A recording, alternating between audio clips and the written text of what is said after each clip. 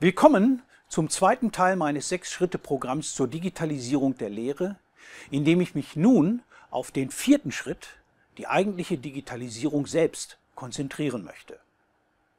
Ziel ist es dabei, Ihnen zu zeigen, wie ein Thema, ich hatte für mein Fach ja das Thema Animal Communication als Beispiel ausgewählt, wie dieses Thema, das in einem klassischen Lehrarrangement circa 10 Minuten Präsenzzeit in Anspruch nimmt, in ein digitales Äquivalent überführt werden kann.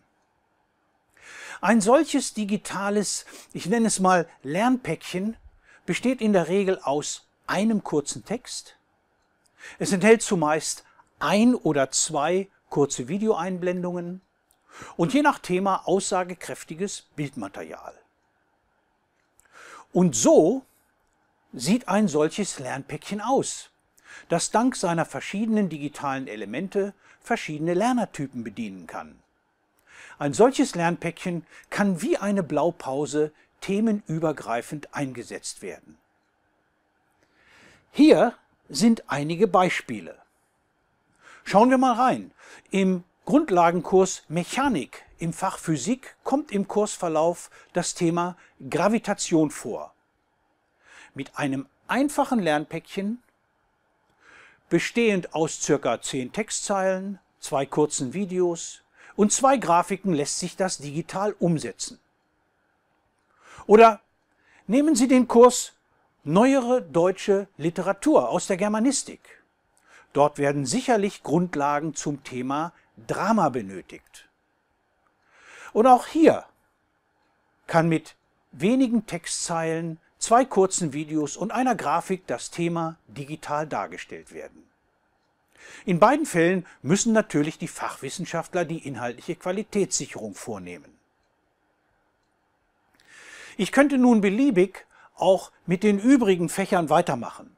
Das tue ich auch in meinen Workshops, will Ihnen aber hier jetzt zeigen, wie man an die digitalen Elemente selbst gelangt. Es gibt zwei Möglichkeiten, Inhalte auf diese Weise zusammenzustellen. Wir können Open Content nutzen, wenn es welchen gibt, oder wir müssen das Do-it-yourself-Prinzip anwenden. Meine Empfehlung, bevor wir es selbst machen, sollten wir zuerst so viel offenen Inhalt wie möglich versuchen zu finden. Aber was genau ist das, offener Inhalt? Nun, Open Content oder genauer gesagt Open Educational Resources sind frei zugängliche Bildungsmedien, das heißt Text, Bilder, Videos und so weiter. Diese Medien können mit bekannten Suchmaschinen und speziellen Filteroptionen aufgerufen werden, sind aber auch über bestimmte Webseiten zu finden. Spielen wir das einmal durch und beginnen mit dem Text. Mit einer einfachen Suchanfrage finden wir schnell mehrere tausend Textverweise, viel zu viele, um sie alle anzusehen. Mein Vorschlag, beginnen Sie mit Wikipedia, sofern dieser Text wissenschaftlich angemessen ist.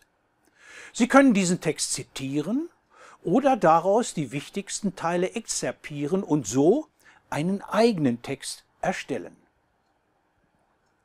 Dabei sollten Sie darauf achten, dass der Text in sich geschlossen bleibt und möglichst keine Verweise nach außen enthält.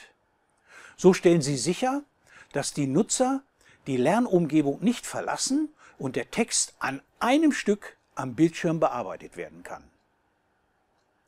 Schauen wir uns als nächstes nach Bildern um. Die Anzahl der Bilder, die einem Suchbegriff zugeordnet sind, ist normalerweise überwältigend. Die meisten Bilder sind jedoch urheberrechtlich geschützt und können nicht frei verwendet werden. Wenn Sie jedoch das Tools-Menü aktivieren und den speziellen Filter zur Wiederverwendung gekennzeichnet anwenden, können Sie Ihre Suche auf diejenigen Bilder eingrenzen, die sich als heiße Kandidaten für die freie Verwendung eignen. Aber auch bei diesen Bildern muss sorgfältig geprüft werden, dass das Urheberrecht nicht verletzt wird. Last but not least, Video. Auf YouTube beispielsweise werden mit unserem Suchbegriff hunderte von Videos abgerufen, die für uns relevant sein könnten. Einige davon sind mit der Creative Commons Lizenz ausgewiesen. Welche das sind, können wir mit der Filtersuche herausfinden.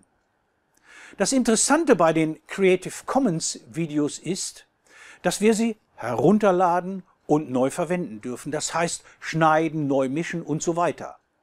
Allerdings müssen wir die Quelle sauber angeben. Die Einbettung eines heruntergeladenen CC-BY, also Creative Commons by Videos, ist einfach. Auf den gängigen Plattformen wie Moodle und Ilias lädt man sie einfach hoch und zieht sie an die gewünschte Stelle. Auf eigenen Webseiten bietet sich dieser HTML-Code an. Damit wird das Video auf einer Webseite in der gewünschten Größe eingebettet und, wenn gewünscht, mit Abspielcontrols versehen. Bei nicht speziell lizenzierten YouTube-Videos, die ja nicht heruntergeladen werden dürfen, gibt es zwei Optionen, vorausgesetzt der Kanalinhaber hat diese aktiviert. Die Teilen-Option, das heißt den direkten Aufruf des Videos über den YouTube-Hyperlink und die Einbetten-Option, bei dem das Video Teil einer Webseite wird. Für die Einbetten-Option, die garantiert, dass der Nutzer das Video direkt auf der jeweiligen Webseite sieht, wird ein Code benötigt, den man per Mausklick auf das laufende Video erhält und dann mit den gewünschten Parametern wie Videogröße oder Vollbildoption in einer Webseite an die gewünschte Position bringen kann. Übrigens kann man über diese Option auch die Laufzeit eines Videos kontrollieren. Die Details dazu finden Sie in diesem Video. Das Ergebnis der Zusammenstellung der Inhalte kennen wir ja bereits. Bei heruntergeladenen Creative Commons Videos sind sie auf der sicheren Seite. Bei standardmäßig eingebetteten Videos kann allerdings dies passieren. Ein eingebettetes Video ist gelöscht worden. Um so etwas zu vermeiden, mein Tipp. Nehmen Sie Kontakt mit dem Kanalinhaber auf, sobald Sie das Video einbetten wollen und bitten Sie darum, das Video nicht zu löschen. Erfahrungsgemäß sagt keiner Nein, im Gegenteil. Die Kanalinhaber freuen sich über die Aussicht auf zusätzliche Klicks. Tja, so geht's. Ich hoffe, ich konnte Ihnen zeigen, dass man mit Open Content schon sehr weit kommt und viele Lernpäckchen ohne großen Aufwand erstellen kann. Es kann jedoch Fälle geben, in denen wir den Inhalt selbst erstellen müssen. In solchen Fällen müssen wir nicht nur die Texte, sondern auch Bilder mit Bildbearbeitungssoftware, Audiodaten mit Audiobearbeitungsprogrammen und sogar Videos mit Hilfe von Videobearbeitungswerkzeugen selbst erstellen. Und wir brauchen die notwendige technische Infrastruktur. Daher ist meine Empfehlung klar, immer erst die Open-Content-Möglichkeit prüfen. Versuchen Sie es einfach mal. Ich wünsche Ihnen viel Erfolg und grüße Sie aus Marburg.